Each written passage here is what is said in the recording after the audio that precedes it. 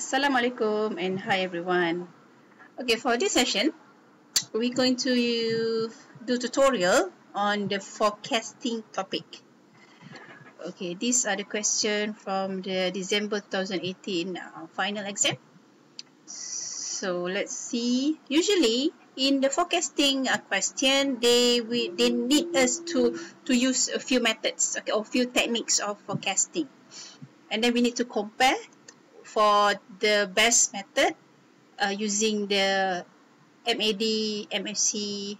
Okay, so first we look what are the technique that we're going to use. The first one is moving average for four weeks.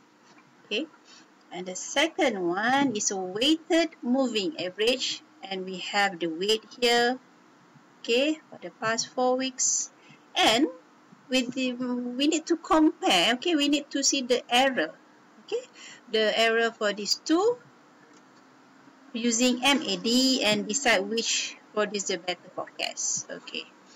So these two table here the first table I think belong to we use it for part 1 and part 2 and then the final table we're going to use it for the number 3 okay?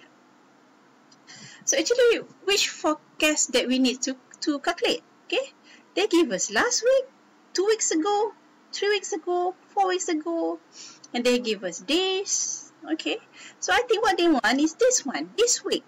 This is the one that we need to do the forecast. Alright, this week. So with all this data, with all the historical data, we can calculate the moving average one the second one is the weighted moving average and we need to compare these two. Okay, let's start with the number one. Okay, and don't get confused. This table only will be used in the part three. Okay, so don't bother to look at it. Later on, we will look at it. Okay, let's start. Moving average. So they want Monday to Friday using simple four weeks. Okay, these are the data. So we need to fill up for this one. So moving average is very simple. Okay, it's just a normal average. And be careful since 4 weeks. So, remember. Okay, so the best thing is you go from nearest to the one that you want to forecast. So, if I, I will move from here to here to here and here. Okay, so I divide by 4. Why? Because the question asks for the 4 weeks moving average. Okay, so for I will do for the Monday first. Okay, so 240 plus 230 plus 240 again and 220 divide by 4. Okay, and we get 232.5. Remember, we need to round up. Okay, for forecasting because it's involved with the uh, product. Okay. Alright, then you have to fill up for Monday, Wednesday, Thursday, Friday with the same process. Okay, we answer part 1. Okay, now we're going to part 2. Okay, weighted moving average. Once you get the weight, you have to sum the weight. Okay, and again, you need to, to use the uh, moving average formula. Okay, and move for moving average formula is totally different from the moving average, no moving average, because you need to uh, multiply with the weight here okay how to read the weight? Okay the weight the the biggest weight should be near to the one that you want to forecast. So it goes like this way. Okay so 0 0.4 times 240 plus 0 0.3 times 230 plus 0 0.2 times 240 plus 0.1 times 220 and divide by what divide by the sum of the weight. Okay so you have to put sum of the weight here. So luckily it's 1 so you get 1 here. So it's going to be 235 okay for Monday. So you have to fill up for Tuesday Wednesday Thursday and Friday okay?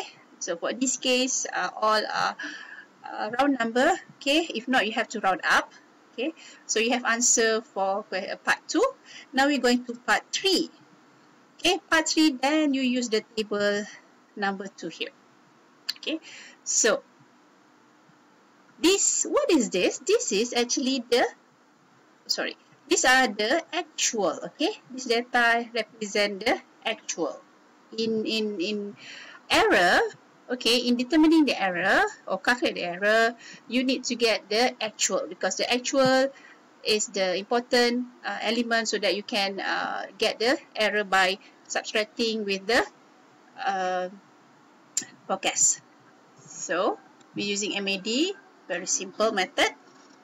So remember okay I told you that's the actual and these are the answer that you get this one is from part 1 this is from part 2 so you need another table to calculate the error okay? so these are the actual okay from here. So I transfer here. And then first I will do the moving average. So what I have to do is take the actual minus the moving average here is 233 and remember for error we need to use absolute value. So there's not going to be any negative value. Okay all are positive. So same goes to the weighted moving average. I take the actual and I minus with the forecast. So I have 25 here. See? Since this is absolute value so there's no negative number here. Okay? There's no such thing as negative error. So you have to complete for Tuesday, Wednesday, Thursday and Friday. Okay so once I get all the error here, I need to sum the error, okay, for uh, moving average and also for the weighted moving average. Then I need to calculate the MAD. How to calculate MAD? The sum you need to divide by the number of error that you have. For this case, okay, you have 1, 2, 3, 4, 5, 5. Okay, same goes to WMA. 1, 2, 3, 4, 5. Then you have to divide the sum okay, with the number of error.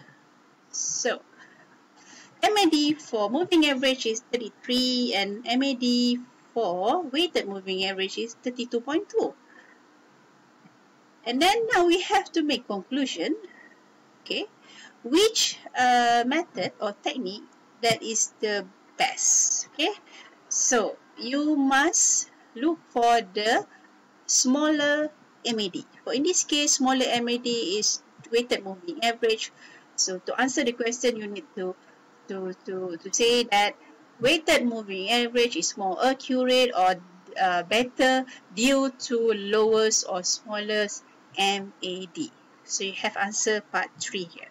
Okay, so by following uh, these steps, okay, first you need, when you, have, you get the question, you need to determine what are the technique that you're going to use.